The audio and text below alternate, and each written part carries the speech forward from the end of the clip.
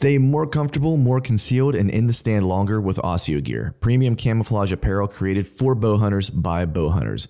Asio's revolutionary patented camo patterns and innovative features are designed to keep whitetail bow hunters totally invisible and dead quiet. Elevate your game with Asio. Visit asiogear.com and take 20% off your purchase with code TRUTH20. Mobile hunters, our buddies over at Tethrd are always innovating to keep us more mobile and in the game when it counts. From the Tethrd One Sticks, the Fast Pack, to the Ultra Lock saddle, Tethrd is always designing to increase comfort and utility while reducing bulk, weight, and fiddle factor of mobile hunting gear. And now they've outdone themselves yet again by creating the carbon fiber forged Predator CFX platform, the latest fully featured mobile saddle platform that raises the bar for what's possible in mobile hunting gear. Whether you're new to saddle hunting or an old tree climbing veteran, go to tethrdnation.com for all your saddle hunting gear.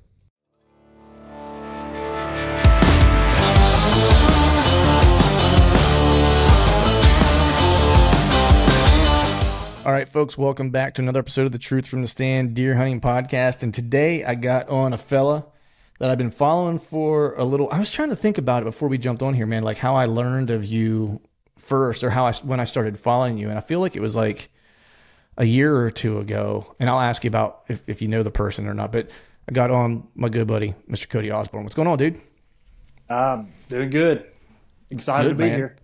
Nice, man. I appreciate you coming on, buddy. It's uh I was trying to think back whenever I, we were getting ready to jump on here. I was like, when did I first? Because you and I started talking right after I had Bobby Worthington on. Like mm-hmm. that was when you and I kind of started messaging each other and stuff like that. Um, and but the funny thing was, was like I was following you prior to that, and I was trying to remember how I had started following you initially. But like, are you friends with with Cody Quisto at all, or am I making this up? I, I mean, I'm friends with him. I've, I've met him quite a few times. I mean, he he, okay. you know, who knows who I am? I don't I don't think right. we follow. Uh, he don't follow me on social media or anything like that. But uh, if right. we was in public, we would know each other. I mean, obviously I know him, but he would know who I am. I mean, right. We right. spoke quite a few times.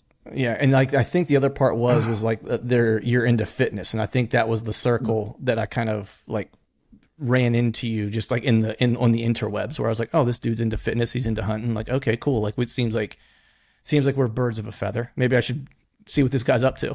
right. nice. So uh how where so where are you at, man? Like where do you where do you live? Is it I'm Tennessee? in North Alabama. North, North Alabama? Alabama. Okay. I'm, I'm nice. about 30 minutes. I'm about well, depends on which part of the state line, but I'm I'm anywhere from 15 to 30 minutes from uh, Tennessee state line. Okay, all right. That's because for some reason I thought you were in in Tennessee. What uh did you guys make it through like the storms and everything unscathed, man? Because I know a bunch of my buddies in like the Tennessee area, and I know it's probably more like the west part of North Carolina and mm-hmm. stuff like that, just like had a had a bad deal. Yeah, it was it was good here. I mean, just a bunch of rain, four, probably four inches, something like that. But yeah, it's all um, east of us, pretty much.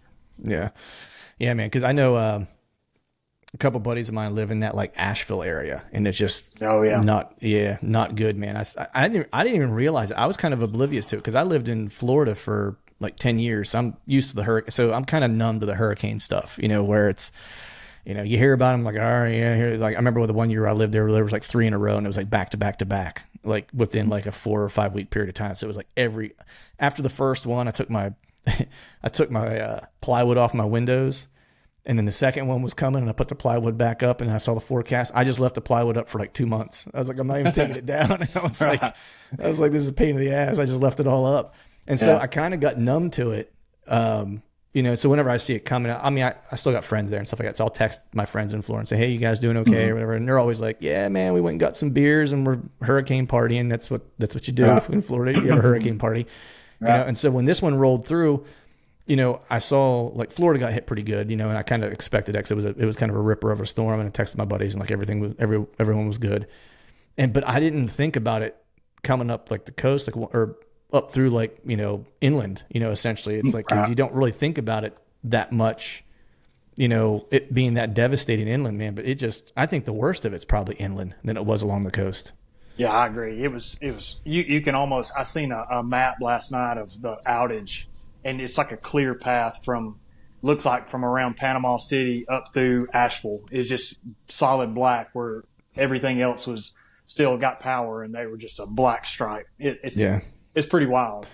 Yeah, I mean, I think the crazy thing is, is that you know when you are in those, and, and I promise people listening, we're gonna we're not going to be meteorologists the entire episode. We'll, we'll talk some deer hunting and stuff, yeah. but uh, it's um, you know, like Florida for example, you know, because they deal with it, they you know, you can argue people who live there would argue differently probably, but they've got some infrastructure and things in place that like this is normal for them. They get hit by hurricanes. They're kind of I don't want to say built for it, but they're built for it to a degree, right? Right. And um, you know, that much water though, it's like, you know, it's hard to shed that much water like on the roads and like like the drainage stuff like that. It become inundated and you have problems and stuff like that. But they've got some stuff in place. But when you get outside of that and you get inland where they don't expect to take on that kind of water and you've got levees being breached and stuff like that because you just don't think that something like that's going to come that far inland. That's whenever it gets real bad because you might look at it and be like, yeah, the rain wasn't that bad. But when you start getting like the flash flooding and like systems becoming completely overwhelmed because they're just not built for that specifically, that's whenever the shit kind of hits the fan. I think that's kind of what happened. Yeah, exactly. You know, but yeah, thoughts out to those folks, man. Hopefully, our brothers and sisters in that part of the part of the country are are, are digging their way out and they'll be you know be okay. But uh, yeah, for sure. So you're from you're from Alabama. How so you uh how how you feel about that Georgia Bulldog Alabama game? So, so my wife's an Alabama fan. I'm actually an Auburn fan, but okay. Auburn they just suck. So uh, I was I was actually pulling for Georgia. I was hoping they would go. I mean, and they probably they may still do it, but I, I think um, more than likely they'll be. Well, I don't know. After that game, it's kind of a toss in the air. But I was thinking there would be national championships again this year. Uh, so we'll see. But yeah, I, I was pulling. I was pulling for for Georgia. Yeah, I was too. Just you know, I don't have an allegiance one way or the other. My bro- my uh, stepbrother actually walked on at Alabama, so I sometimes pull pull for them. He played D two ball, and then I think it was like his junior year. He started for two years at D two, and uh, I think he was a linebacker in D two, and uh, he always wanted to play at a D one, and he loved Alabama, and so he was like, you know what, I'm just going to go ahead and change schools and do my last two years at Alabama because I want to go to Alabama. He's like, and I'm just going to walk on and see if I can make the team, you know? And so he walked on and at last, I forget how many days he was there. It was only like some spring practices because he said he got, you know, he was like 215 probably. He's like 6'2 or something like that. When he got to Alabama, he was too small to play linebacker, but technically he was too slow to play safety. You know what I mean? It was right. one of those things where he was a quintessential D2 player. You know what I mean? Right.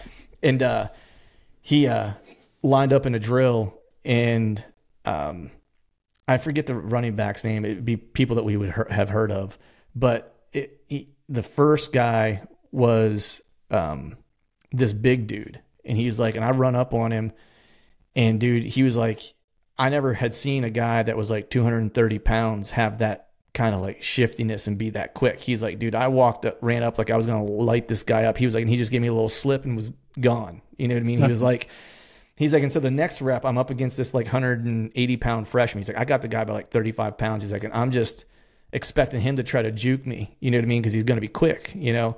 He's like, I run up on him and break down. He's like, dude, he's like, I never been hit so hard in my life. He's like, the guy was like probably one of the smallest guys on the team. He was like, and just buried me. You know, he was like, that was the moment when I realized yeah, this ain't gonna work. it's a whole different level. That's it, man.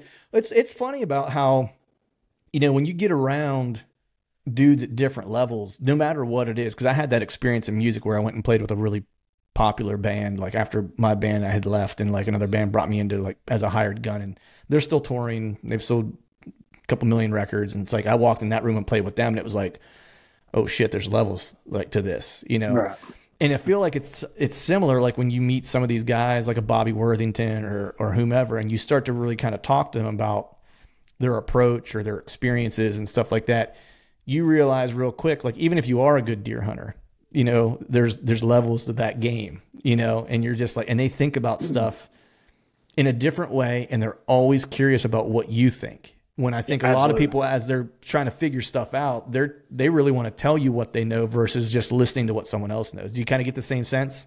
Absolutely. And anyway, I mean, every time I've known Bobby for probably six or seven years, and every time I'm around him, I'm like, I literally know nothing about whitetails, and just question everything I know. And I'm like, man, eh, and like you said, you I'm trying to absorb information from him, but it's almost like you said, all the these elite guys, they're they want they're curious, they're more curious about what you know than what they're trying to teach or something like that. They're just trying to gain little tidbits off of everybody they're around. Yeah, yeah, I know because when Bobby and I got done with that that episode, we stayed on the phone for a little while and just kind of talked um, about stuff and about particular deer. You know, one that I had killed, one that I one that I had hunted, and stuff like that. We just kind of chopping it up, and um, I remember he just asked. I forget what the questions were that he asked me, but they were just so specific that he asked me that I would have never in a million years thought about, like to think of it the way he was thinking about it. You know what I mean? And I mean, I think that's the uh, and he's he's an old soul too, man. Like those mm-hmm. those guys, like we got to preserve their approach and what they know, and I think even more so than anything, how they treat people, because that's the one thing that I really appreciate about him is just how he treats people. Yeah, I agree. He um he, he is a is a great human being all around. I mean, there's nothing you can say bad about him really. I mean, I've spent a lot of time with him and every time you, you leave somebody like that, it's like, you know, guys like this are not around and they're not going to be around much longer. So you try to absorb as much information as you can. And, and that's why he's starting to put a lot of his information back out there hmm. because he, he knows he's getting to an age where he, he, if he don't pass it on, it's just going to be, you know, information that goes to waste. Yeah. Yeah, yeah, because there's really just a handful of those guys around still. You mm-hmm. know what I mean? Like it's the it's him, it's the Roger Rothhaars, you know the the, the Wensel, Wensels, the Wensels. Mm-hmm. You know, um, I wouldn't put the Drurys in the same. I mean, great hunters, but like not the same era, right? Like right. they saw Bobby and the Wensels, like, and they saw them as legends. You know what mm-hmm. I mean? And right. um, you know, and so those guys, you know, it's like our grandfathers, you know, it's like, you know, try to impress upon my daughter, you know, even like her great grandfather just, one of her great grandfathers just passed away over the summer. He was in his early nineties and, you know, she's, she's a good kid. And so she actually spent time with him and would ask him questions about his life and his history and stuff like that, because, you know, those folks are just, they want someone to ask them. They want to right. pass it on. You know what I mean? Right. They want to share knowledge with you that you aren't going to get to experience firsthand, you know? Um, right and so right after I talked to Bobby, I actually went and bought his book like right away, like pre-ordered his book, you know, because I mean, yeah. he's like he's like he's a gold mine of information. For sure, he really yeah. is. I, I, have the the first two that he's got, and then um, I pre-ordered this one. So you know, yeah, I tried to old... find the old one, man, but they were like I couldn't find it, and then when I did, it was like whoo, it was it was salty. yeah, they're they're high dollar. yeah, I was like, man, I was like, I don't know, if my wife's gonna be okay with me buying a high dollar hunting book. You know I mean? like, a book, yeah yeah, exactly. She's like, okay, so this is the guy you had on the podcast. You could ask any question, and then you still had to buy the book. Like, you know, it feels like a, a missed opportunity there. But uh, how'd you uh, how'd you meet him? How'd you guys become friends? Um, it was it was just a random. I can't remember what happened. I think he did a podcast on a on a what he considered an unkillable buck, mm. and um, I had his number somehow, and I just called him up and we just got to talking and I ended up meeting him probably about two weeks later and I, I ended up getting the uh, Passionate Quest book from him at that point. And um, it just, I mean, I, I literally called him up and uh, like I said, I'd, I'd had his phone number from some, somebody had given it to me and told me to call him, but I just hadn't gotten around to it. I mean, it's like a, I'd had it for probably a year and I didn't want to, it's kind of one of those things I didn't want to bother, bother him. And when he brought that podcast out about the unkillable buck, I was chasing one in Illinois at that time. And I, I just, I called him and I was like, I, I got to pick your brain on this because I'm, I'm chasing a deer right now that I need help. And, um, I ended up meeting him probably two weeks later and, and getting the Passionate Quest book. And, and we, we've stayed in touch. We probably talk weekly, hmm. maybe, maybe twice a week, you know, to this day. Right. But I spent a lot of time with him. He's also, uh, he's also kind of my archery coach I actually picked up um, a recurve this past summer, so he's been coaching me with that stuff. Nice, yeah. He's he's very. I mean, he's he's humble about how good he is at shooting a bow. You know what I mean? It, it's like it's, it's. I never knew he shot uh, traditional. Like, I mean, I had assumed. I mean, I'd seen some pictures early in his life, so I had assumed he had because of the age in which he started hunting and stuff like that, right? And then I saw some pictures. But I was talking to Joe Miles about it the one day. Mm-hmm because um, I started shooting a, a longbow. And actually, it's sitting back there on the thing. Um, and uh, Joe, I know, started shooting a recurve, you know, mm-hmm. this year, and then he kind of went away from it. I kind of gave him crap about it. And I was like, "Come on, dude!" I was like, "You're just gonna like?" I was like, "You're uh, you're more uh, you're you're more diligent than that. Like to just put it down because it's getting hard. You know what I mean? It's like you, that's not in your DNA." And uh, he said he was talking to Bobby about it, and he said, "Ask him about some pointers or whatever." And I, I don't remember how he said it. Joe asked him like how many how how many deer maybe he killed with his longbow or or whatever the case was or you know Bobby made the comment. It was like oh I'd never hunt a deer with a longbow. He's like I'm not good enough. And he's like and Joe was like well if he's not good enough like what am I doing with this thing? So Bobby so Bobby missed what he thinks is a typical world record in Iowa with a with a recurve. And then he missed a non-typical that he thinks is probably 240 and he said I would give up every deer I have on my wall for those two deer, and both of them was with a recurve. And he said that's that's the reason I don't care. Right, that's a good reason. You know, like I mean, if it happened to me, I think I would feel the same way. You know, it's uh, yeah, I don't know, man. The pain of missing a a deer. I've only ever had it happen one time where it was like a deer that I really wanted to kill. You know, um, I was on a trip in Iowa and I saw just like a hand, it, it, wasn't even like he was like 108. It wasn't even like it was a Boone and Crockett deer. I mean, it was a good deer. Don't get me wrong. He was probably mm-hmm. like 140 some odd inch eight point, just super heavy, you know, super symmetrical, just beautiful. You know, it's like like when you look at like the quintessential kind of species, like the you know the the representative mm-hmm. of the species. That's kind right. of what he looked like. You know, and I missed him. I not only did I miss him once, I missed him twice. I missed him on two different occasions, and it just like that just freaking gutted me. So I couldn't oh, imagine yeah. like a world class deer that you just screw the pooch on. I think he said on the Iowa deer, he told me um, back then they cut the arrows off. So they hmm. would shoot just like an arrow that was made for that bow that's right past the riser. Now, then he switched to a full length arrow. But he hmm. said so that there was two trails that deer could walk by. One was at five yards and one was at 15. And he's like, at 15, it would probably been a dead deer. But the night before, a little buck had come on that five yard trail and made a rub.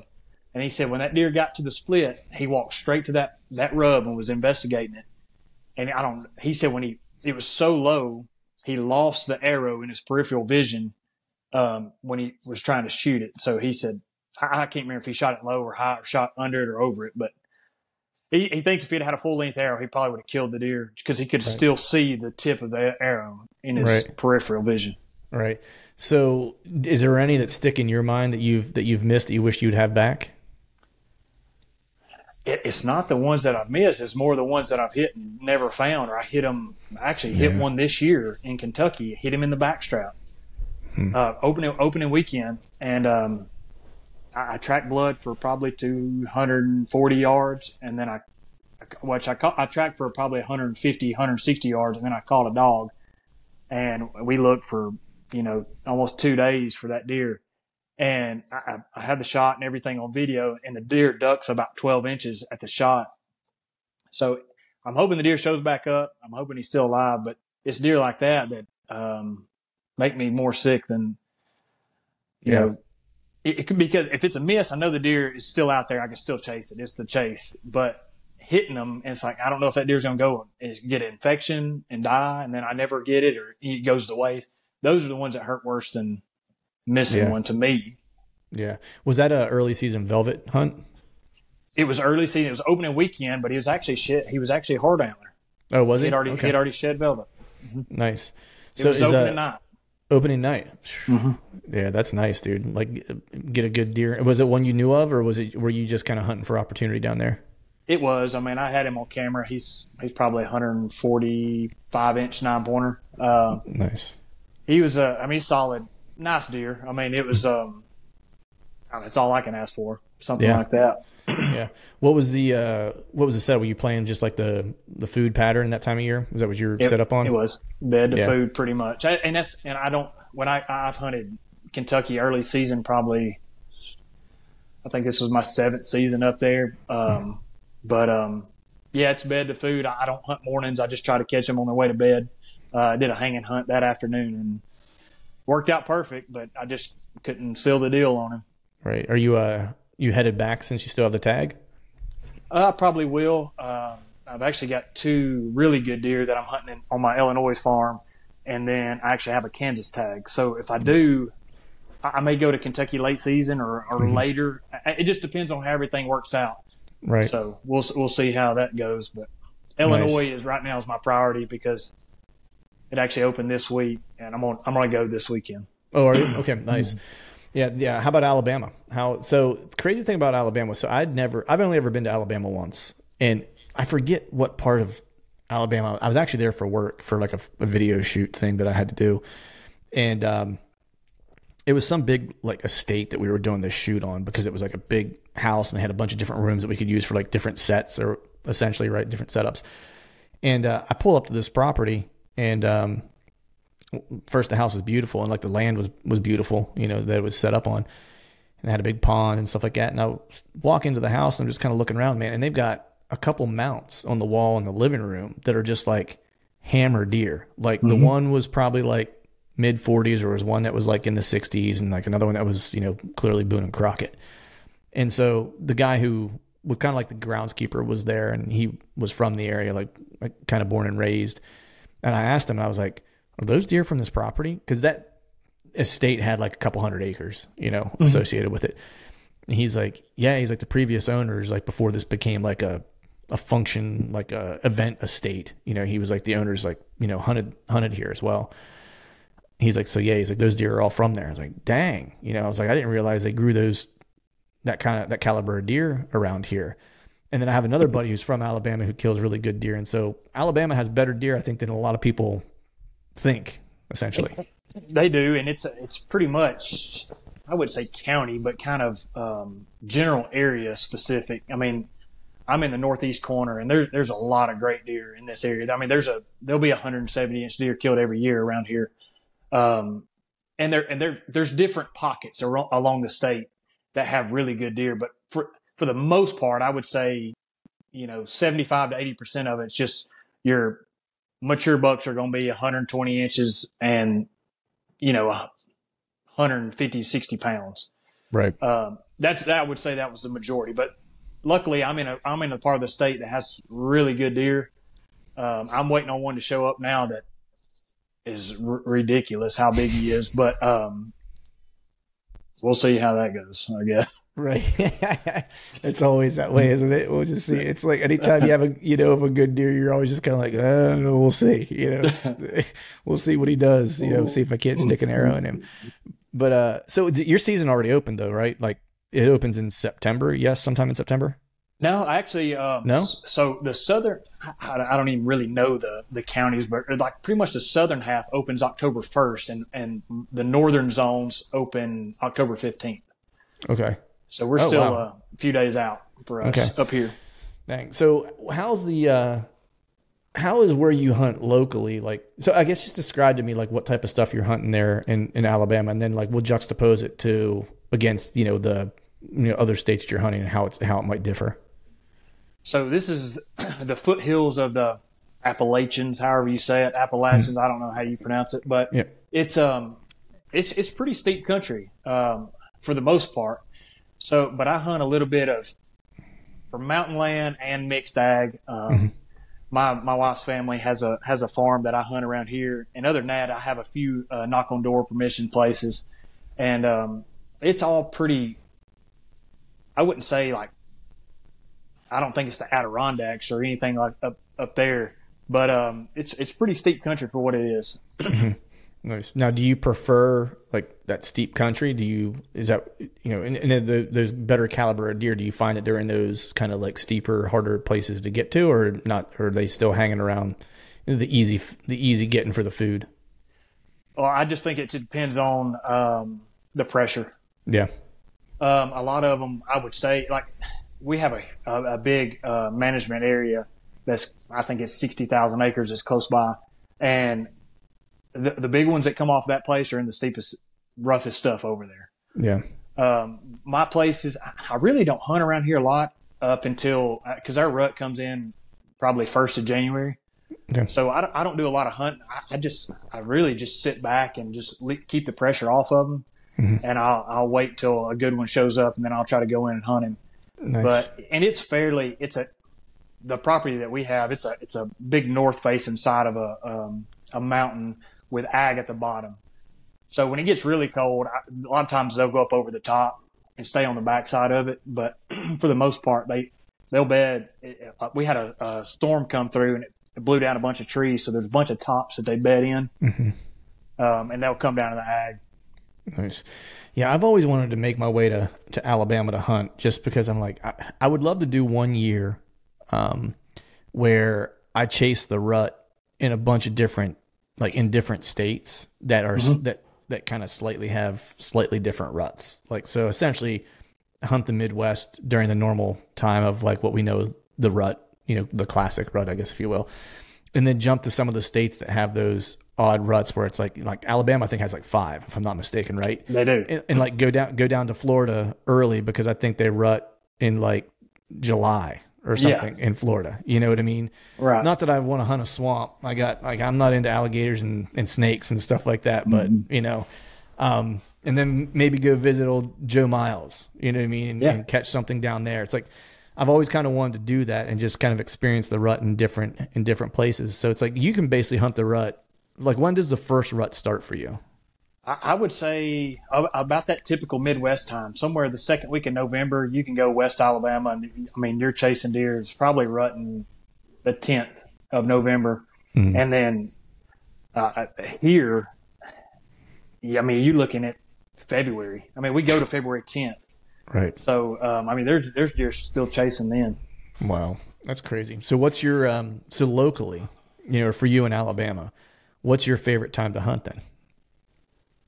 Well, it's it's around that time frame because I'm usually um, I'm out chasing deer in other states. We don't have. I mean, I say we have big deer. I mean, there's just occasional that random one that shows up, but um, I'm out chasing deer in other states, and then I come back home when I'm, and then I'll just hunt um, just perfect days. I, I don't go out when it's hot. I'm I'm more of a hang out with the family and stuff like that because I've been gone probably October, November. Mm-hmm. Yeah. So. Yeah, I hear that. It's uh see, I'm sometimes the opposite where it's like where I'll go and hunt the bad weather days only because I know at least for me, you know, because of the amount of pressure that's around where I live and stuff, that I know most people aren't going to be out. You know, and so it's like I'll like give me like a abnormally warm day on like a Wednesday yeah, that's like money for me. You know, I'm like, cool. I'm gonna have the hmm. woods all to myself. I'm certainly gonna hunt the morning. Even in October, it's like I'll hunt the morning because that's the coolest part of the day, especially on a warm, on an abnormal warm day or whatever. Mm-hmm. Um, and that's kind of how I play it pretty often, at least at least locally. You know, try to zig when when other folks are are zagging. You know, but I'm similar in the sense that if I have my uh, if I have my way, I'll put in that put in that, that family time. That way, that way when I got to go, I, I can go without any strings attached. Yeah, right. That's that's me. yeah. So you're headed to uh you're headed to Illinois here coming up this weekend. You said right? Mm-hmm. Nice. So what's the uh what's the plan plan for that? What's the uh you got some prospects? Yeah, I do. Uh, I'm gonna. I was planning on headed up Sunday, but I'm gonna head up Saturday now and just glass a couple fields. Monday, really all next week, the weather's looking really good. It's 82 on Sunday, 69 on Monday. So I'm, I'm, I'm playing that front. And then whether it helps or not, there'll be a red moon all week next week. So I'm, I'm not going to stay all week, but I'll, I'll stay a few days, those first few days of that north wind yeah. and, um, trying to see what I can do, capitalize on one. Yeah, you're. Yeah, I know, man. You're you're killing me right now because we got a front kind of coming in too. So um, I think the uh, Saturday, or, um, so our season opens officially like statewide on Saturday. I live in a special regs unit, so like the area around my house opens up mid September, roughly, and then the rest of the state opens up, you know, in um, like the first weekend of October, usually, like so in that time frame. So it's like either like depending on the year and how the weekends fall, because we don't open except on Saturdays. Right. Um, it'll either be like the last Saturday of September or like the first Saturday of October, just depending, right? Um, and uh, so one area that I hunt, you know, it opens with the statewide. So I've been kind of waiting and I'm watching the weather and I'm like, we just had like a bunch of rain and stuff that's kind of been messing around. Some of it's been from that system that came through. And uh, there's going to be like a nice, like eight, nine degree temp drop between Friday and Saturday, you know, which is like perfect. So I'm going to get to hunt Saturday. Um, and then we don't have any Sunday hunting. So I was just, my plan was just like to scout, you know, and, and then I was actually, because I work remote, I have my trailer, my little travel trailer set up where I got Starlink in it. That way I can work from it and I can hunt mornings and evenings and stuff, you know. So I was going to kind of stay in the general area where I was planning to hunt basically most of next week because like the weather was going to be killer. And like you got the red moon and I'm looking at the weather and I'm like, oh man, this is like, it couldn't set up any better, you know, for an opening week. Right. And uh, a lot of people aren't going to be out opening week, right? Like everyone's waiting, take their time off during pre-rut and rut and stuff like that, right? And so I was like, during the week, there might be some guys around on Saturdays, like, but during the week, I should have basically the run of the place. And um, I got a work trip on Monday and Tuesday. I got to go to Chicago.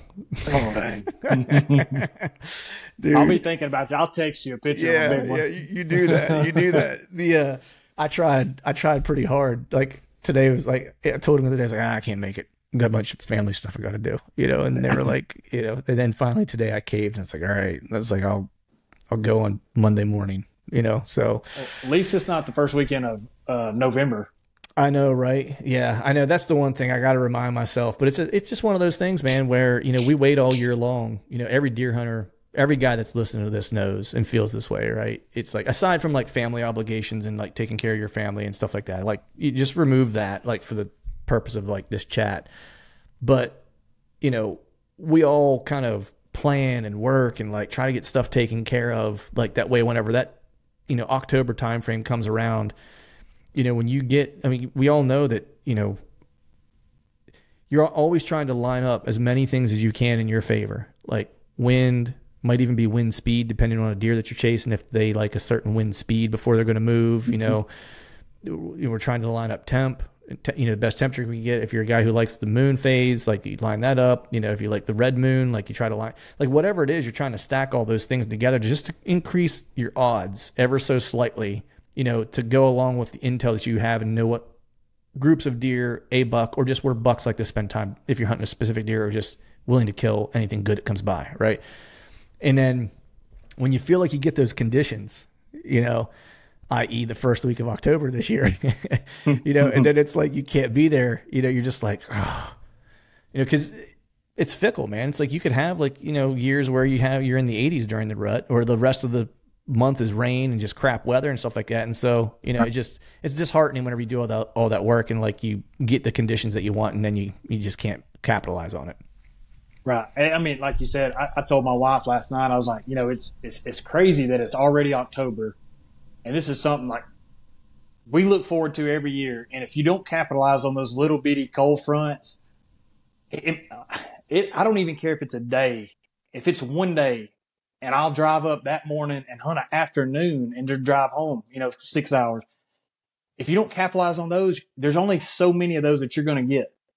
And then it, it, we get we're 30 days away from November. And then that's going to go by just like that. And then we're going to be wishing it was October again. Yep. So I just try to, I mean, I try to minimize my time away from my family. It might be a short three day weekend or a two day weekend or even a one day or one day hunt, but you you got to capitalize while they're here. Yeah, yeah, that's just it, and that's the part that kind of truthfully drives me nuts. Where it's like exactly what you said. It's like, man, there's only going to be but so many prime days within that six week window uh, for for Pennsylvania at least, right? Because archery for us runs from you know first week of October through like the second week of November, roughly, and then we have basically a week statewide. Pretty sure it's still statewide, um, where there's no hunting at all before you get to Thanksgiving. Uh, I shouldn't say no hunting at all, but no deer hunting until you get to Thanksgiving. Then basically the first Saturday after the Saturday after Thanksgiving, then gun season comes in, and then you can hunt with a bow if you want to still and whatever, right? Um, but by and large, at that point, like the rut's kind of dwindling down. I mean, you still get some of that late action potentially, mm-hmm. right? But like the the best part of the rut, I feel like Pennsylvania, we can't hunt. It, it's that week, but that week right before Thanksgiving, you mm-hmm. know. Um, which is a bummer. And so it's like for us, like well, I look at it really like I got a six week sprint, like to capitalize during archery season before gun gun pressure comes in, you know, right. and the fact that I'm going to basically lose a cold front and a red moon on the first week because I got to go on a work trip drives me crazy. yeah, that's tough. Yeah, just yeah. just quit your job and deer hunt forever. Dude, don't think don't think I ain't crossed my mind. You know what I mean? Like, told my wife, I was like, I might be, I might be getting fired here. Like, just, just so you know. But I'll fire myself. Yeah, yeah, I'll fire myself and just try to get rehired right after. How's that? Let's see if that see if that works out. Like right around like uh December first, something like that. There you go. nice. So you got you got some prospects in Illinois. Um, what's your game plan for that, man? Like you just mentioned, you got the front. You know, like what is there a particular deer you're trying to kill there, or? So I have two actually. One of them, he showed back up I had pictures of him two years ago. Didn't get a single picture of him last year. He was real active those three days after Thanksgiving. And my plan mm-hmm. this whole time was it's it's a really good it's a rut funnel. I mean it's it's a classic Bobby Worthington funnel. And um, I plan on sitting there for those Friday, Saturday, Sunday after Thanksgiving because him and another deer that I've had three years of history with, he was a big nine. This year he's an eight. Um, it's a deer that I call Tank. He's probably 300 pounds. He's just a huge body eight pointer. He, he's probably a 150 inch eight pointer. And, um, they, they've actually both, they've got to be living real close in this little corridor. It's a real thick, overgrown, probably 10 year old, uh, CRP field. And it leads into a little white oak, um, it's a it's a little strip of woods, probably 80 yards wide, and it leads to a, like a big destination field. It's a bean field right now, but in the in the rut, they're they're traveling that little corridor, that 80 yard wide strip of timber, staying out of the field. And uh, so I put a camera there, and I always anticipate that rut movement. Mm. Well, both of them have been showing up pretty habitual mm. these these past three weeks. I mean, they're there a few times a week, just passing through. I don't know if they're feeding in the oaks in that in that strip of woods, and that's why they're passing through, or they're still uh, the beans are still green in a certain location. It could be the, a shaded section of that bean field. But um, so my plan right now, and I've got the wind that I need next week, um, is to sit up on that that funnel, and uh, hopefully hopefully one of them. They're both probably I, I, think Tank is he's probably a six and a half year old. The other one may be five and a half, but they're they're probably equivalent in score. But the other one, he's he's got split G twos. He's got trashy uh, brow tines. I think he's got like two or three on one side. He's just a tighter frame deer. He's not he's not real as far as like a big frame, but um, they're they're fairly close in size. And either one, whichever one gives me the opportunity is the one I'm gonna uh, take. So nice. Just, that's awesome, man. The uh, it's uh it's funny how, you know, certain setups we identify like, you know, when we're scouting or whatever, you know, and we have these ideas of when they might be good. And we do the best we can in looking at the sign and, you know, the terrain that's around it and the bedding that might be adjacent to it or whatever the case is. And we go, you know what? This is a rut spot. Right. And then all of a sudden, you know, the deer tell you something different. Right it's uh it's always just kind of interesting, man, like how you have these best laid plans, but at the end of the day, the best laid plans are really whatever the deer are telling you. You know what right. I mean? It's like because you probably thought in that spot, if someone would have told you when you were scouting that that area, right, and you and you found that setup, you know, and you're thinking of it like quintessential rut funnel, right, like a Bobby Worthington classic, and someone said, you know what, you should hunt that the first week of October. You'd probably looked at it and been like, dude, what are you talking about? Right. and, and and the thing, the reason I say that they, it, it's a rut funnel because typically this time of year for the past three or four years, I, have never had a, a, shooter come through there. And it's always, it, it, seems like they show up around the 19th of November, but it's a lot of, it's about a week's worth of nighttime movement. And then those three days after Thanksgiving, every single year, they're just daylight walking. It might be one o'clock in the afternoon. It might be seven in the morning, five in the afternoon, but so this year going into it, I was like, well, I know that area is going to be for my, my late season or later rut period. But if they're there now and they're walking through it, there's no sense in waiting till till the rut to try to go find one. They might run off and get killed. That's right. I mean, that's. I think that I've made the mistake in the past, and I've kind of told myself I wouldn't do it anymore. And it sounds like you know you're kind of in a similar situation. And I don't know if you've done this, and I don't want to put words in your mouth, but you know, there was a deer two years ago that I was chasing that was really, really good for this for this area. He was probably in the fifties, but he looked like a really young deer, like body wise. Like I looked at him and I was like, if you just covered up his antlers, he just looked at the body. Like I did this with my buddy Chad. I was like, dude, tell me that deer don't look two. right? Like he looks like a two year old, you know, just thin frame, like, and he look at his antlers, and I think he had 13 or 14 scoreable points or something like that, and he had two G uh, G threes on both sides. That so it wasn't like a split. It was like he had two G threes coming off the main beam. You know, wow. he had like double split brows, like all kinds of kickers and stuff. Like he was just a funky looking deer, you know, and he was young.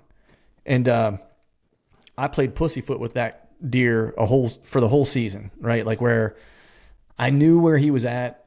I had him on camera like in in the summer, and I had him like as the season opened, and like and because this was in an area where the season opened early, like middle of October, and I knew I had him in there feeding on acorns. They had dropped, and I was like, I know where he's at, and I didn't want to bust things. I thought I was going to bust him out there. I was like, I'm gonna have the season to hunt him. I don't want to spook him, you know. So I'm gonna just nip around the edge of where he's at and see if I can't catch him coming through, like a little a pinch on his way back to bed or whatever the case mm-hmm. is, right? And that deer and I were ships passing in the night the entire season. I don't know how many times I hunted an area, and I didn't know this until like after the season, whenever I pulled all my cameras and went back and looked, and it was like, oh, cool, I was hunting this little saddle over here, and he came through this camera, and he, the way to go to bed would be he would go through this saddle, and I missed him by like thirty minutes. you know what I mean? Like it was like that the whole season, and it was after that where I was like, you know what? If there's a deer that I want to try to go after, it's like I'm not going to be patient any longer. I'm just going to be aggressive. So I'm curious with you, do you kind of teeter on that aggressive side or do you play the more patient game when there's a deer or even two deer or whatever it is that you want to kill? Uh, a lot of times since it's out of state and like I was saying, I was trying to bide my time away from my family and stuff like that. I, I, I pretty much just get in and if he's doing something and I see him doing it, you know, multiple times a week, I'm just going to dive in after him mm-hmm. and just hope, hope, you know, I mean, obviously I'm, I'm playing the wind and all that stuff, but I'm just hoping he's going to do that thing while I'm there. Right. Um, I, have done it in the past years ago, and I just sit back and I'd wait, wait, wait, and just watch a deer from afar. And then by the time I get ready to dive in after him, well, he's already he's already gone. He's chased the doe, or he's you know he's off looking somewhere else. Mm-hmm. So I just I got so at home I'm I'm the exact opposite. I'll sit back and I'll wait and I'll wait to the perfect days and and then I'll dive in when I, I can tiptoe around, you know, and hunt him carefully. But when it's out of state and I'm, you know, you're holding three or four other tags besides the state, I, I just try to, I try to shoot one and go to the next one. It, I mean, right. it's all about the adventure for me. So if one chase is over, I'm looking for another one. All right. Do you feel like you hunt better at home or do you feel like you hunt better out of state? I, am more careful at home. I would say both of them. I hunt good both ways because, like okay. I said, at home I, am more I'm more careful. I'm I'm staying just out of the area. I'm just tiptoeing around, and but up there I'm hunting more aggressive. Mm-hmm. It don't always work out. I mean, it's a lot of times I'm failing, but that's where you learn. Failing, mm-hmm. fail fast, and fell often is what I was told. Right. Um, so I would say I'm a better hunter in the Midwest just because I'm I'm in there after them more and I'm learning more from it. Yeah, the reason that so that was that was kind of where I was going because that's I feel the same way where I feel like I'm actually a better hunter whenever I'm out of state because I think there's an element of um, paralysis that we get from thinking we know more than we do, right? Because I I've had this happen to me you know, too many times. I learned a really good lesson last year, you know, on some of the hunts I was on out of state and stuff. And, and I applied it last year to my home and, and I was successful because I was just like went into a spot and, you know, was like, didn't have really any camera intel, you know, that last year because the camera had died. And I just, uh, I was lazy and didn't go in and change it to be quite honest with you, you know, and, uh, ended up killing a deer there. And it was just like, because I was going in and hunting off of what like I felt, right? And what I kind of thought. You know, there wasn't any like data really for me to like dig into per se, right? And the same thing whenever I was in Kansas, it was glass deer, watch him do what he's doing. He's going to do it again tomorrow. I'm going to go kill him. You know, as opposed to trying to get a bunch more information to make myself feel good, like I know more than I do. Right. You need one more picture of him or something. Something. You know what I mean? Like how often do we say that to ourselves, right? It's like, you know, I want to see I want to find his rub or I want to find a track in a scrape or I want to find like we're always looking for a complete picture when like I don't think we ever get one and I think I honestly don't think we ever really truly understand 95% of their life, you know. I agree. And, and so that one little picture or that one track we're waiting for isn't going to be the end all be all. Like you probably have just about what you're going to have, and now just go do what you got to go do. Yeah, exactly. You know, the uh, unless you're Jake Bush, and then that fool follows them like all season long across like multiple ridges and like knows when they're going to use specific trails. Like that dude's crazy. like I don't know how he does it, but but even He's him, deer. Yeah, he is part deer. Um, but even he and I have kind of talked about that to where it's like, you know, you try to study them and learn as much about their life as possible, but like we know such a small amount about it, you know. And I think sometimes we we pat ourselves on the back thinking we know more than we do. And then we when we kill a deer, we're like, oh, it's because I knew all this stuff. And it's like, mm, no, you probably knew enough about ninety percent ago. yeah. you know what I mean? Uh, and you really didn't know all that much about him. A lot of it was just right place, right time. Like you did your homework, right? But there's still mm-hmm. an element of this that's like luck. Like a coyote didn't kick him out of his bed today. A hunter didn't walk in and bust him out of like a an acorn flat or whatever the case is, right? Like there's a lot of things that got to go right. Yeah, and it happens. Yeah, all that stuff. Yeah, exactly. I feel like it happens to me most every time I hunt, but that's just me. You know? I tell everybody I'm just the luckiest guy in the woods. that's right, dude. That's right. Sometimes it's good to have that horseshoe in your back pocket. You know what I'm saying? That's uh, that's the that's the ticket there. So, all right. So you're headed to Illinois. Um, you got a good plan for, plan for that. Uh, and you said you're going to Kansas too, right? Uh, I yeah, want to pick your brain about this. Yeah, well, we can do we can do that off offline. We don't want to give up too many secrets, but uh, the the um the uh on a Stoke level, man, where are you at on Stoke? Are you like one to ten? Where are you at?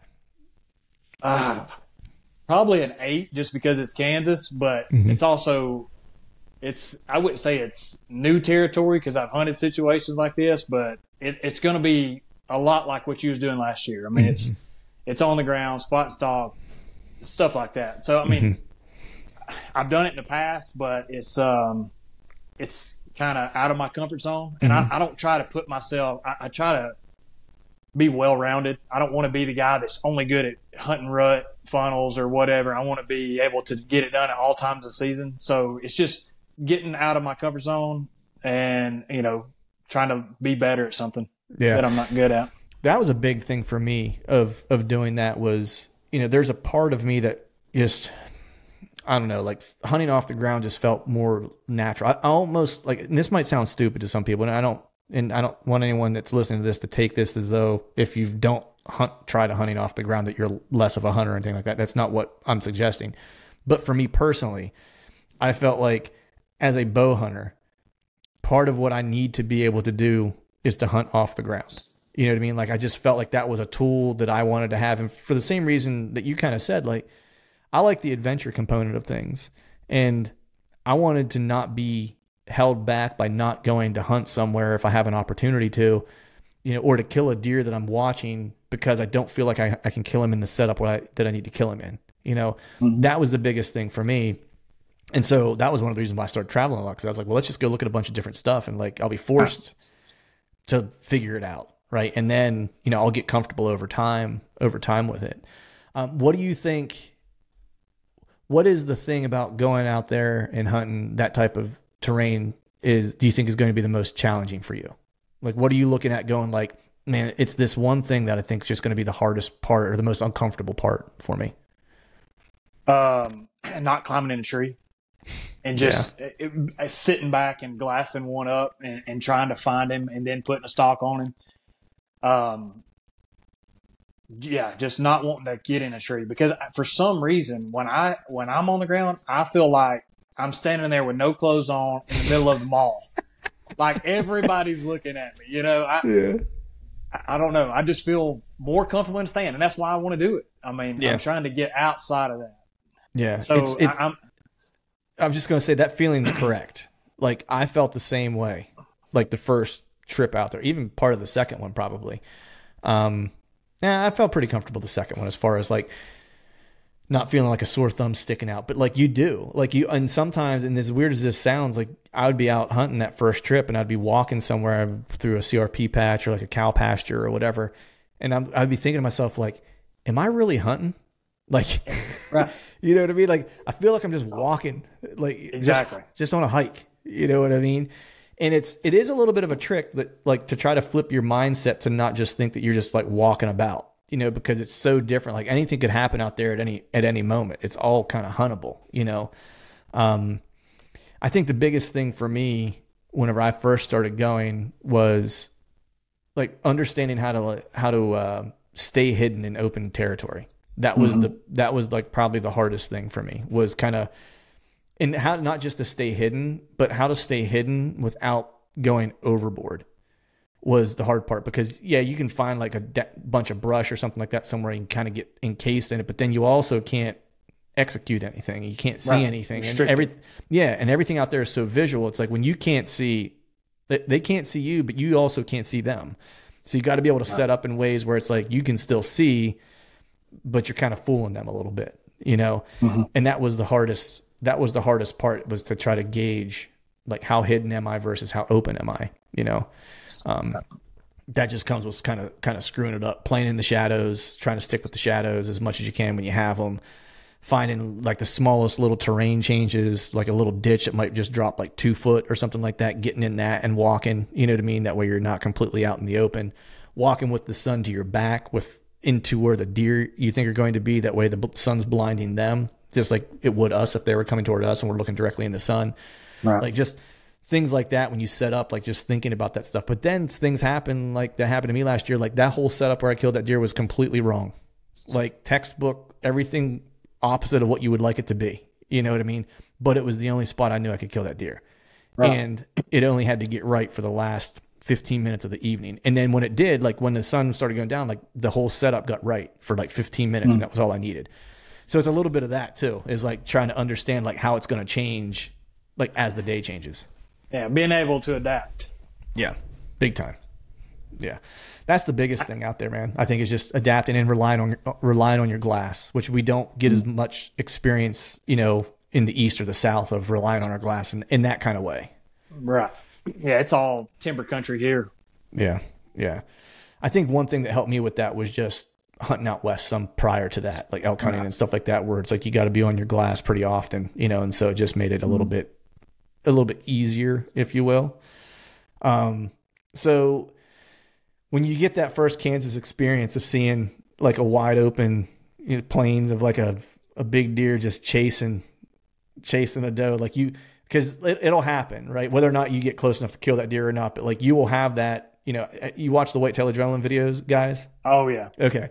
All right. Yeah. So, you know, that deer running across the road or whatever, like you'll get something like that. You know what I mean? Like, what do you think your reaction is going to be when you see that happen for the first time, or you're just driving and there's a piece of private and you're like, "Holy shit, man! There's a 180 inch deer out in that on that bean out in that bean field or cut bean field or whatever." You know? uh, I'll be uh, pulling up onX and finding where the landowner lives. right, right, for sure, man. That's a uh, that's the cool thing about out there, man. Is uh is just like how you know the uh I think that was my that's my favorite part about hunting open country. Um, is just like you know I'll be curious to talk to you when you get back is if you feel the same way. But like you you feel like you're constantly and once you get over the whole idea of like, am I actually hunting? Because I'm driving a lot and I'm glassing and then I'm walking and I'm calling and I'm getting back in my truck and I'm driving and I'm glassing. And so you're like, is this really hunting or not? Mm-hmm. Um, but then what you realize, at least I started realizing later, was that I always once I got comfortable with that, I always felt like I was in the game. Like I always felt like I was one one turn around the next corner to seeing the deer that I'm going to go kill. You know, and right. like when you're in the woods, like we are a lot of times in thick timber and stuff like that, you sometimes feel like you couldn't be further from the game. You know, because I can't see further than 20 yards, and I think this is a good setup. But like that deer could be three miles from here, and I'll never know, or he could be 20 a, yards from me, and I can't see him. It's it's that unknown because when you're sitting in a tree, it's like you said, it's you're hoping that he's there or hoping that you're everything's going to fall into place. But like you said, he could be three miles away. but at least if you can see the deer or it, know that there's one there, you're in the game, and that's that's what mm-hmm. I'm looking forward to the most. Yeah, yeah. There's a it, it's it's it's awesome and equally as unnerving because when you see them, you're like, all right, now how do I kill him? Right, because it's like then like that's whenever it gets stressful because you're like, because I can see him, I feel like I should be able to kill him. Right. right. Where in the woods where we hunt in the south and in the east, there's almost a little bit of a relief because I can't see him. So how what how could I kill him? Right? Like right. can't, right? But out there, you know, your mind will play tricks on you where it becomes a little bit more stressful because not every time you see them is it the opportunity to, to kill them. You know, it's like mm-hmm. I call I, what I, what I had learned out there was to be uh, patiently aggressive, is what I called it like and it wasn't until I figured that part out that I start having like really good encounters. And I screwed a couple of them up where I got busted drawing and you know went through like the growing pains of hunting off the ground in open country and stuff like that. But I started getting real close on real close to deer, you know, mm-hmm. and that was whenever I learned how to kind of be patiently aggressive and like know when to sit back and just watch what they're doing and figure out what they're going to do next. And then as soon as the opportunity to try to go in to make a kill presented, now I move you know, mm-hmm. and then it's then it's all in then. Right. Yeah. Wait yeah. to see what they're going to do, and then make a plan and get after it. Yeah. Yeah. I'm looking forward to it. It's it's going to be different. I'm I'm excited. We'll just see how it goes. Um, right. What's your what's your goal for out there, man? Like, what are your what are your what's your goals? I know you're a workout guy. We're gonna talk a little bit about that too, but I know you're a workout guy, man. So I know you got some goals. I, I don't really know. I mean, obviously, it's my my my goal out there, and I'll have to tell you about this afterwards. But I, I'm, I'm going to try to shoot something that's 150 or better. Okay, that's a good goal. That's that's 100 percent attainable. The uh, I saw a lot of.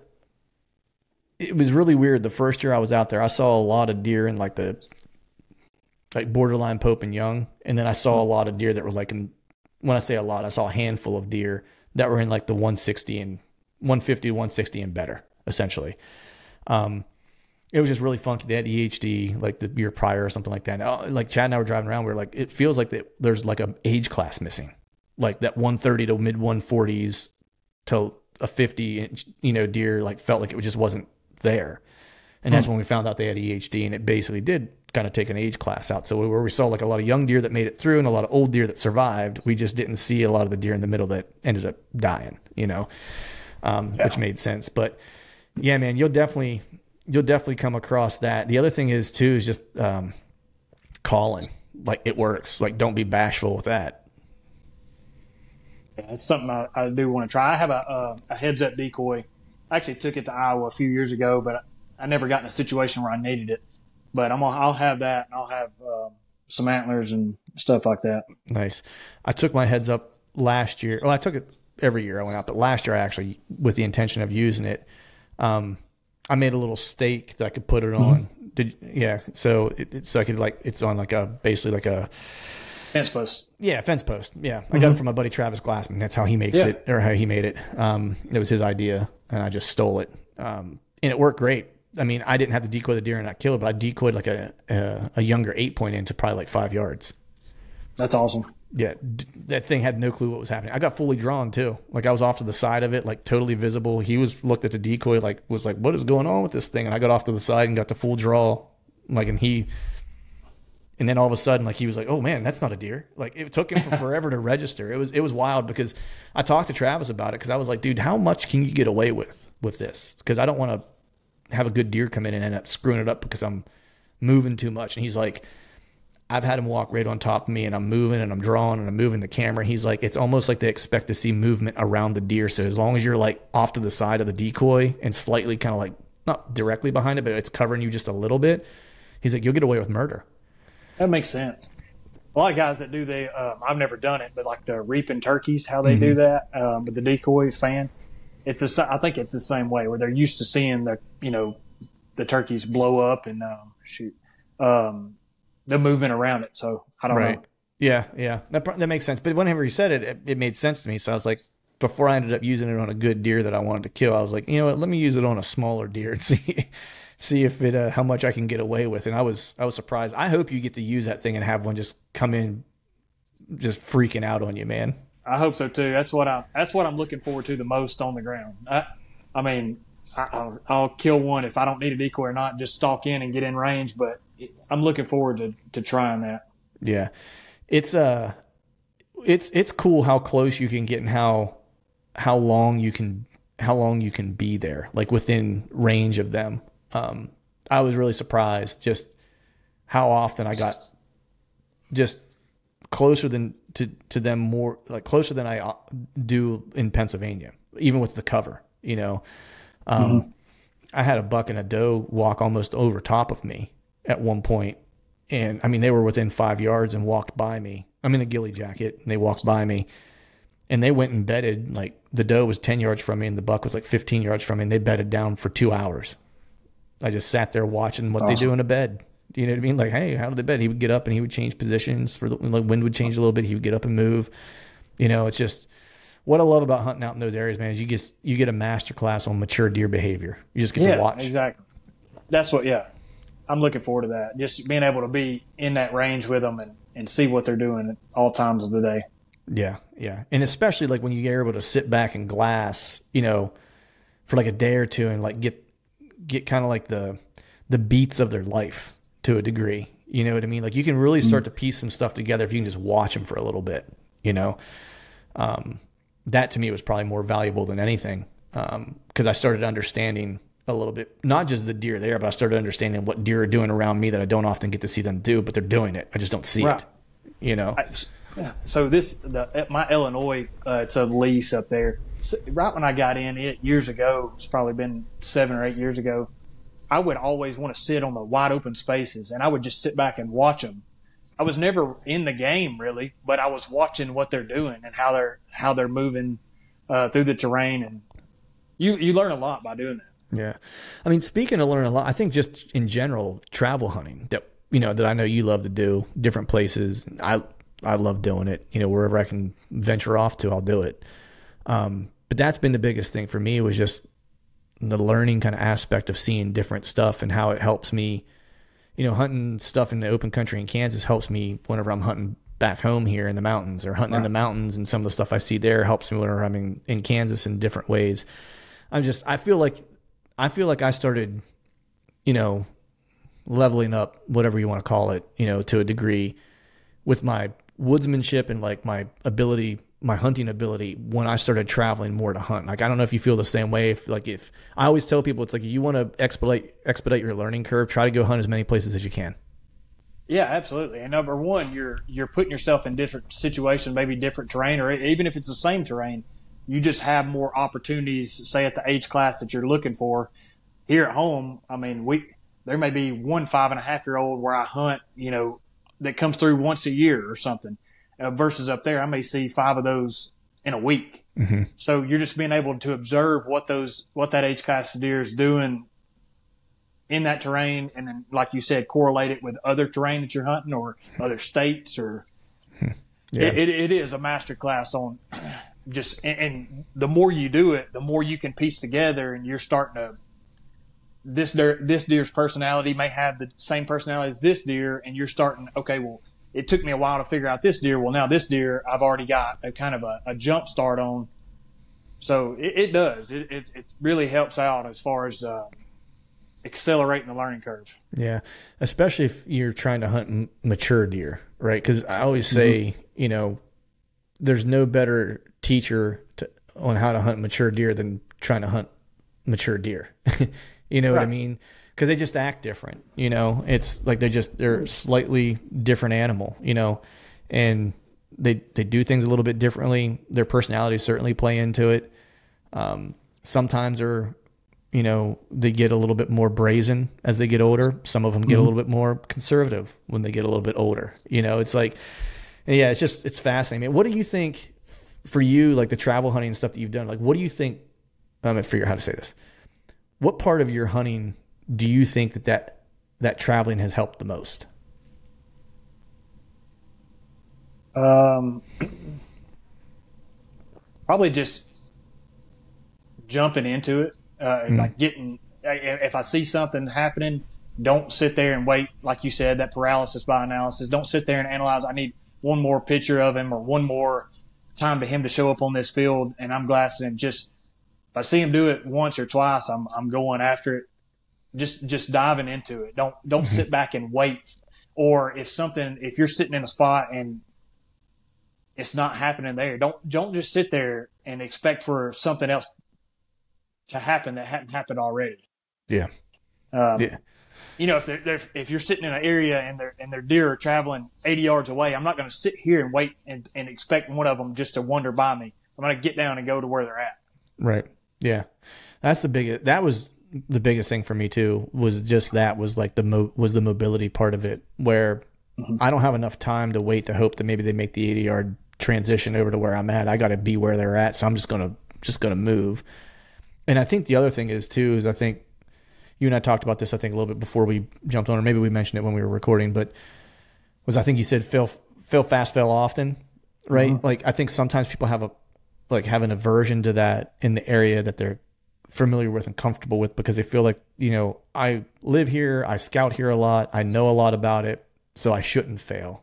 Therefore, they never put themselves in a position to fail, right? Right. And so you're not learning anything, right? And so I feel like you know, because I used to have that too, right? And I, and it, what solved it for me was traveling and going to places where I had no other option other than to fail most likely because mm-hmm. most of the tough most of the stuff I would hunt out of state, like I would never scout before I got there. Like I would right. show up blind and I would do that purposefully because it would force me to go just screw stuff up until I until I figured it out. You know, and so it almost gives you a license to fail and be okay with it. Right, and you only have X amount of days while you're there, or you know, on a trip, something like that. So, yeah, you can't you can't sit. I mean, it's different. I guess it's different when it's you, if you live in an area and you're sitting back and you're you only have one tag and you're fine with hunting your own one state and you're just going to wait on that big one to make a mistake. But when you're traveling around the different states, in order to get it done half the time, you have to you have to get aggressive. Yeah, yeah, yeah. They're not going to kill, especially those you know higher caliber or older deer, they're like they're not going to kill themselves. You know, mm-hmm. they've made it that long, that far by doing the things that they do. It's like you you have to do it on their terms. You know, like you kill young deer on yours. I feel like you kill, kill older deer on theirs. Yeah, that, one of the deer one of the deer I'm hunting is Epstein. By the way, he ain't going to kill himself. No. That's right, dude. That's right. You might have to get some sheets out or something like that to get old boy. You might have to tie some sheets together turn out the lights on them, you know, turn the video cameras off, all that kind of stuff, man. Nice, man. Well, uh, dude, you know, how do you? So let me ask you this, because I know you're into working out, right? You own a gym, if I'm not mm-hmm. mistaken, right? Correct. So one of the hard parts for me, and this might sound really stupid for people that are listening, but probably one of the biggest stressors for me during deer season. It's not even trying to kill a deer any longer, like because I mean, yes, I want to kill deer, but I'm looking to have a good time, and I'm going to go out and just have a blast. And if I do the right things and I get to kill a deer, you know, then awesome. But I don't, you know, live and die with the tags I fill or don't fill, right? Right. Um, and but the part that stress, so I don't stress out too much about that. What I do stress out about though is like getting my workouts in. Mm-hmm. as as dumb as that might sound for people listening, right? It's like I stress out about all right, so I'm going to hunt this day here. I got to travel this day here. So what days am I going to do jujitsu? All right, okay, I got to get up early this morning. I'm not going to hunt that morning because it's going to rain, so I'm going to lift instead. Like, right. you know what I mean? Like I'm making like my plans to try to get all my work. So how do you manage to do that and run a gym at the same time and get all your hunting in? So a lot of times on out of state stuff, it's it, my gym sessions are kind of fly by the seat of my pants. If it, like you said, if it's if it's just thunderstorms or pouring down rain, I'll go. If it's morning or afternoon, uh, sometimes it, it, I just I'll skip them. I mean, mm-hmm. it's kind of one of those things. I'm on vacation, not necessarily vacation. I'm there. I'm I'm doing the work. Um, mm-hmm. but it's all right if I miss them. But as far as getting a lift in, I, if if I'm not in the gym four to five days a week, I'm starting to get pretty cranky. I um my I just I just need it. I just need to leave, relieve some stress. I work a full time job for my dad, Mm-hmm. And it's it's you know anywhere from forty to sixty hours plus plus run the gym. A gym. So I need um yeah I need some stress relief. Yeah, I hear that. Yeah, the uh, I was stressed out yesterday after work. Went to the gym felt great when I got home. Yeah. You know, it's uh, you know, it's it's um, it's the magical it's the magic elixir for me. It, it's the thing that makes everything for me for makes everything work, if you will. Mm-hmm. Right? It allows me to kind of have the mental capacity, emotional capacity, physical capacity to do all the things that I that I want to do. Right. Know? Yeah, and going to the gym, especially on the days that you don't feel like it, it it's it's that mental building that mindset. So mm-hmm. you know those days that you're on rutcation or whatever, and you don't feel like going because you you didn't get to bed till late, or you was tracking a buddy's deer or something, and you don't want to get up and go in the morning. That's that mental. It's yeah. that mindset where you just got to get up and go. It's that discipline, man. You know, that's mm-hmm. what it comes down to. It's uh, you know, it's funny because I was thinking about it while I was out elk hunting because it was some of it was just brutal, and we're hiking. You know, this elk beat me up for four days. Kind of mad about it, right? And now I got to crawl out of this hole. You know, it's like mm-hmm. it's one of those things where I'm just like, hey, you got to do it. Like there is no other option. Like you just got to put your head down, put one foot in front of the other, and do it. And I think so much of that too is related to you know you can tie it back to deer hunting, right? Because we lose more than we win, you know, and you Absolutely. have to be willing to just kind of stay in it and put one foot in the front of the other and go out tomorrow and do it again and go scout some more and go walk some more and you know and then maybe you know you get rewarded right or mm-hmm. or maybe you don't realize you're being rewarded while you're doing it right you know yeah, the same way we lift and are working out. It's like you're not going to do it for a week and get rewarded. It, it takes consistency. You know, like mm-hmm. you said, left foot, right foot, and just the the more you do it, the those everything compounds. Mm-hmm. Yeah, the uh, well that it's like even you know while you're doing it, you're being rewarded. We just don't realize it, right? Because like if you're hunting, for example, you're out scouting, walking, you're out in nature, breathing clean air, mm-hmm. you know, uh, experiencing all the things we have to experience that we take for granted, you know, and so you're being rewarded in that moment if you just stop and think about it. Absolutely. You know? And for me, you know, whether it's lifting or jujitsu, either way, you know, I'm being rewarded in that moment because my body is capable of doing those things. Right. Mm-hmm. There's a lot of people who don't, whose bodies aren't capable to do those exactly. Things. And so I tried to start. This might be a little hippy dippy, but I started. And I, I've done it for like a while, but I, I really kind of turn to it whenever I'm feeling like I don't want to go to the gym or I don't want to go train that day, you know, or you know, it's this elk hunt and it's just beating me up and I'm like, I don't really want to get up and go again today, right? Or it's a deer hunt and like I'm getting beat by a deer or whatever it is, right? When I get up, I try to say this to myself. I'm like, I get to do this today. Mm-hmm. It's not I have to do this. It's I get to do this. You know, exactly. I get to go train. I get to go lift. I mm-hmm. get to go hunt. I get to chase this deer. I get to have this deer beat me. I get to have this elk beat me. You know, if you just change how you think about it, it makes a big difference. Absolutely, I agree. And there's a lot of people that would trade places with either one of us every day of the week. So, yeah. and I, I've got two kids, and my little boy's to the age now where he's like understanding things, and I'm trying to tell him you can't take a lot of things for granted in life because you have it probably 99% better than a lot of people. Mm-hmm. So you just have to enjoy the time that you have. And yep, that's it, man. Yeah, I try to, you know, there is. I, I said this to someone. I forget if it was at work or where it was at, but it was. I'm living someone else's dream life you know, and when you think about it that way, you know, it makes you kind of have some gratitude, you know. Oh yeah. You know. For sure. And I think uh, there's go ahead, I'm sorry. Oh, you're good. I was just going to say there's a lot of people that that even wish to to hunt their own state, let alone travel to two or three other states every year, chase bugling bulls in Idaho. Yeah, exactly, man. and so I try to remind myself of that. That like my worst days is is the is the day that somebody wishes for you know, for sure. And, you know, when you do that and you frame that, man, it makes it a lot easier to go, you know what? I'm having a blast, you know, mm-hmm. and even though it this sucks, bad at all. Yeah. Even though it sucks, you know, or, or, it can suck, right. Or you think that it does. It's like, dude, I'm still having a blast. Got a mm-hmm. smile on my face. To smile through the pain. You know what I mean? Like, and just and just eat it. You know, a lot a lot of that stuff's top two fun. It ain't fun in the moment, but when you look back on it, it's the best days ever. Oh yeah, for sure. You know, like that's we don't tell the stories very often of the things that all went right. Mm-hmm. You know what I mean? Um, the best stories that are told or that you hear are the or the ones that it was just a complete shit show.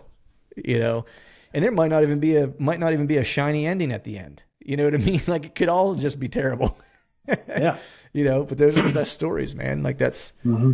that's where the uh, that's where the fun is had. Like I still like one of my favorite hunts of this day was with my buddy Chad in Ohio, and we got our tail kicked for ten days, and I think between the two of us, we might have seen five deer total in ten days, something like that. And we still laugh and joke about it. It was terrible, you know. I mean? it was awful, but it's like we still laugh and joke about it. And when I think of hunting with him, I don't think of like the year in Kansas he killed a 174 inch deer. I don't think of the year that I killed mine. I think of like him and I hunting in Ohio together, getting our tails kicked in, living in his pool behind the the Exodus pool behind trailer that they used for trade shows with no heat. Like that's what I remember. You know what mm-hmm. I mean? Mm-hmm. Because it was god awful, but it was great. Right. But when yeah. you get back to, to camp every night, you, you're sitting there BSing, and that's yeah, that's the good part. Yeah, that's it, man. That camp vibe. It's uh and just having a good buddy to do that. So when you travel, do you travel solo or do you do you usually try to go with a buddy? So uh, a good buddy of mine, we actually uh, we went to Iowa together. We we both have similar setups. We we converted the back of our vehicles and we mm-hmm. sleep in those and stuff. Um, it just depends on where where I go. I, so I have my lease in Illinois is um, there's 12 guys in that lease, and we have two houses on it we can stay in. Mm-hmm. And um, so it just depends on if people are there or not. But other states like Kansas this year, he has a Kansas tag too, but he's hunting a big deer in Missouri. So if he mm-hmm. doesn't kill it first, he's not going to go to Kansas until. So it, it, just depends on the state, depends on the time of year, whether we're um, somewhat together or not. Right. And how important is that compatibility with a hunting buddy? As far as like you got to find someone who likes who's similar to you, right? Yeah, you do. You, me and him are both obsessed about it. Mm-hmm. So it's, I mean, we probably talk, well, we talk daily, uh, just something about deer. And um, our wives probably hate us because we walk around with their phone on speakerphone all the time. and, uh, but yeah, I mean, if you if you're not on the kind of the same uh, same wavelength as far as what you're doing, it's it's hard to because some people may not embrace that suck like us. Mm-hmm. Uh, so you might be on a hunt. It might be day two, and they're already ready to go home. It, that just it brings you down. So you yeah. you've kind of bouncing energy off of each other, and um, it, it, definitely helps having somebody that's like minded with you. Yeah, for sure. It's a good hunting buddy's worth their weight in gold, man. There's nothing worse than you know being stuck in close quarters with someone that you can't wait to get away from. Mm-hmm. You know, yeah, it's uh having that ride or die is important. You know, someone who's going to be willing to, you know, when they're done with their hunt and you killed one and you're waiting for them, they'll they'll drive the hour to come cross the you know the section to meet you to drag your deer out to help you drag your deer out. You know what I mean? That's, exactly. Uh, yeah, that's what you need. But uh, it's it. Um, I don't know what I was going to say, but yeah, it's good having somebody that has an, uh, another opinion. You can kind of get their opinion on it. Mm-hmm. The the situation I don't like it on my Illinois place is you know there's there's ten or twelve guys in there in camp and they're like, well, I seen a big one over here. You need to go over here. I, I don't. I try to stay out of that situation mm-hmm. because if I go somewhere else and then I'm like, well, man, I should. If I don't see anything, I probably should have went over there like listen to them. I try to just stay in my own lane and and go and do what I believe is yeah. the right thing to do. Yeah. Yeah. I mean, that's, it's, um, there's a good, there's a good part of like bouncing stuff off of each other. And then it becomes a little bit detrimental whenever you're, uh, if the person that you're bouncing stuff off of is, is, I, am trying to figure out how to say it, like, um, like speaking like in terms of like fact or like you need to do or whatever, right? Because right? Chad and I've talked about that before. Because like we've never talked about it like as far as like setting guidelines or anything like that. We just when we talk with each other when we get back, it's usually like, hey, would you see? Would you see? Like, what are you thinking of doing tomorrow? Like, hey, it's like, and I might be like, hey, I'm thinking of doing this. Like, you know, I think this is what they're doing, and he might be like, mm. yeah, or they might be doing this. You know, and it's it's and that's all it ever is. It's never, mm-hmm. hey, you need to do, or hey, you need to. You know, we don't right. we don't really ever do that with each other. We just answer the questions that we ask each other essentially. Right and then we leave it at that, and we don't try to change the person's opinion or mm-hmm. change what they're going to plan to do or whatever. We just let them decide, and if they want some extra intel, like you know, we're happy to share it with each other. But right. you know, and we've never that was always just kind of like an unwritten rule with us. Like we've never talked about it, just how we've always we've always been. You know, that's the way we are. My buddy Jay, um, when we went to Iowa, we uh, we'd never been neither one of us, and we kind of we played paper rock scissors on who was going to hunt first. And mm-hmm. um, we went to a we had scouted multiple farms that March prior, and, and he kind of picked the area he wanted to hunt. I picked where I wanted to hunt two different farms.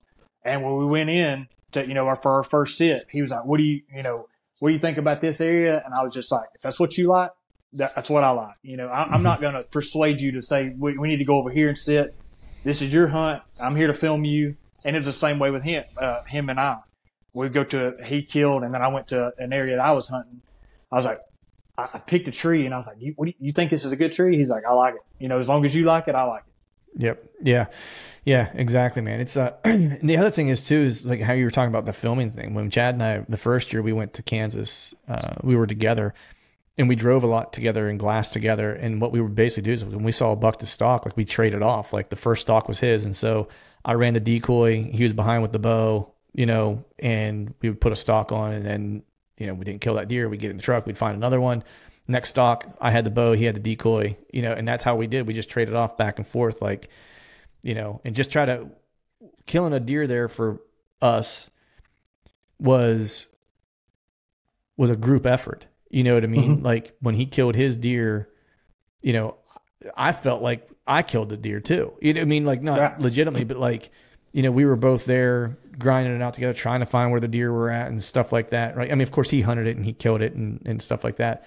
But I felt like I was a part of it with him, you know, mm-hmm. and it was the same thing this year when I got mine. Like he wasn't even in Kansas with me, but I was like, it was, it was the, the previous years in the making of doing this together that ultimately helped me do that. So he was as much a part of it if he would have been in, been there versus not being there. You know what I mean?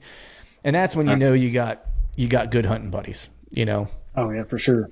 And that's you know, and then you have the off season phone calls of like looking at maps together. You know, we all have that group of guys that like, hey man, let's look at a map.